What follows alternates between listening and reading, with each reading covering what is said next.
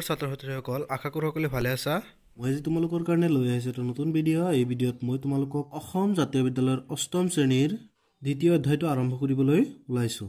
দ্বিতীয় অধ্যায়টোৰ নাম হৈছে পৰিমেয় সংখ্যা যাক ইংৰাজীত কোৱা হয় ৰেচনেল নাম্বাৰ পৰিমেয় সংখ্যাৰ বিষয়ে তোমালোকে ক্লাছ ছেভেনত ভালদৰে পাই আহিছে। তোমালোকে নিশ্চয় ক্লাছ ছেভেনৰখিনি ভালদৰে বুজি পাইছিলা। যদি সেইবিলাক ভালদৰে বুজি পাইছিলা এতিয়া অষ্টম শ্ৰেণীত তোমালোকৰ এইবিলাক পঢ়োঁতে কি হ'ব যথেষ্ট সহজ লাগিব।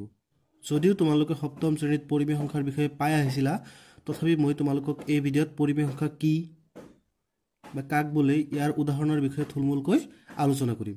চোৱা পৰিৱেশ সংখ্যা কাক বোলে? যিবোৰ সংখ্যাক পি বাই কিউ আকাৰত প্ৰকাশ কৰিব পাৰি য'ত পি আৰু কিউ উভয়ে অখণ্ড সংখ্যা আৰু q not equal to zero' সেইবোৰ সংখ্যাক পৰিমেয় সংখ্যা বোলা হয়। মনত ৰাখিবা যিবোৰ সংখ্যাক আমি কি পি বাই কিউ আকাৰত প্ৰকাশ কৰিব পাৰোঁ য'ত পি আৰু কিউ দুয়োটা কি অখণ্ড সংখ্যা হ'ব আৰু কিউটো কেতিয়াও কি শূন্য হ'ব নোৱাৰে। তেনেকুৱা যিবিলাক সংখ্যা আছে সেইবোৰ সংখ্যাক কোৱা হয় পৰিমেয় সংখ্যা। পৰিমেয় সংখ্যাৰ উদাহৰণ যেনে আমাৰ যিবিলাক স্বাভাৱিক সংখ্যা আছে সেই গোটেইবিলাক সংখ্যা পৰিমেয় সংখ্যাৰ ভিতৰতে পৰিব। চোৱা সংখ্যা কি কি?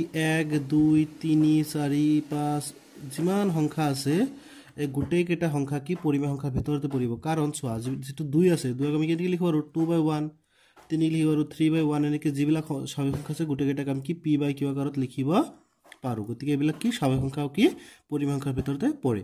তাৰপিছত, পূৰ্ণ সংখ্যাবোৰো কি পৰিমেয় সংখ্যাৰ ভিতৰতে পৰে।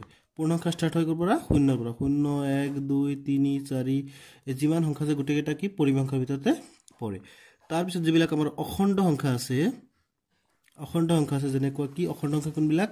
যিবিলাক আমাৰ ঋণাত্মক সংখ্যা যেনেকুৱা minus four minus three minus two minus one zero' one two three সকলোবিলাক ঋণাত্মক সংখ্যা আৰু সকলোবিলাক ধনাত্মক সংখ্যাৰ লগতে শূন্যক একেলগে অখণ্ড সংখ্যা বুলি কোৱা হয়।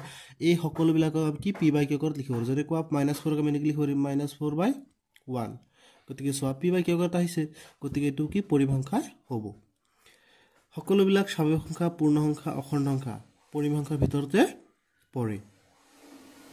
ইয়াৰ উপৰিও যিবিলাক আমাৰ আমাৰ ভগ্নাংশ আছে বা দশমিকত সংখ্যা আছে সেইবিলাক কি পৰিমেয় সংখ্যাৰ ভিতৰতে পৰে? যেনেকৈ যেনে ফ'ৰ বাই ফাইভ এইটো কি এটা সংখ্যা হ'ব? বা তুমি লিখিলা ফাইভ বাই টেন এইটো এটা কি সংখ্যা হ'ব? তাৰমানে পি ওপৰতটো কি পি তলতটো কি কিউ এই পি আৰু কিউ দুয়োটা কেৱল অখণ্ড সংখ্যা মানে এইবিলাকৰ ভিতৰত আহিব লাগিব আৰু তলত কেতিয়াও কি শূন্য আহিব নোৱাৰে এইটো মনত ৰাখিবা। আমাক ইয়াতে কৈ দিছে যে q not equal to zero' সকলোবিলাক সংখ্যা এই পৰিমেয় সংখ্যাৰ ভিতৰতে পৰিব? তাৰপিছত আমাৰ যিবিলাক দশমিক আছে যেনেকুৱা জিৰ' পইণ্ট টু ফাইভ এইটো কি?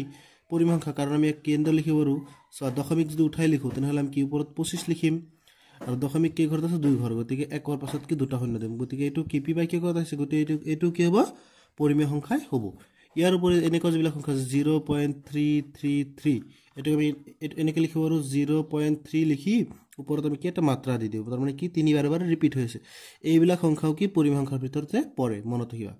নিশ্চয় তোমালোকে পৰিমেয় সংখ্যাৰ বিষয়ে ভালদৰে বুজি পাইছা। যদি তুমি এই ভিডিঅ'ত শিকোৱা বহুত ভালদৰে বুজি পাইছা তেনেহ'লে নিশ্চয় এই ভিডিঅ'ত লাইক কৰিবা কমেণ্ট কৰিবা আৰু তোমালোকৰ লগৰীয়া বন্ধু বান্ধৱীসকলৰ লগত এই ভিডিঅ'টো শ্বেয়াৰ কৰিবা। আৰু যদি তুমি এই চেনেলটোত আজি প্ৰথম আহিছা তেনেহ'লে নিশ্চয় চেনেলটো ছাবস্ক্ৰাইব কৰিবা আৰু কাকত থকা দবাই দিবা পৰৱৰ্তী ভিডিঅ'ৰ ন'টিফিকেশ্যন তুমি নতুনকৈ পাব পাৰা।